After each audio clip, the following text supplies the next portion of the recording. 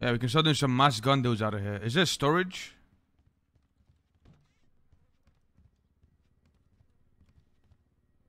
Oh, the there is, bro. Oh no, this.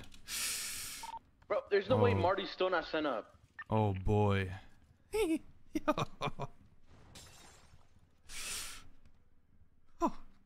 oh no.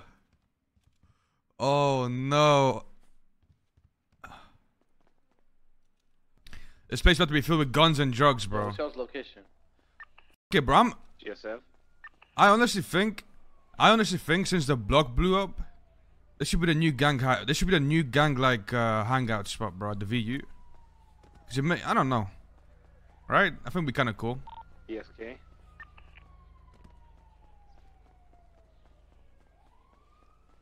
You got everything up in there. You got, you got you got room for meeting, right? You have, you know what I'm saying? It's close to our actual block.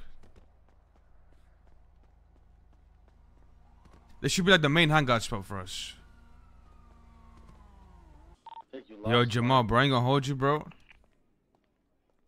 Yo, If you want, you wanna be in business with me, we can fill up those storages with guns and drugs. You know what I'm saying? Fill that bitch to the Yeah, brim, listen, listen. and we start listen, slinging follow here. mass guns out of here. Listen, listen, follow here, follow here.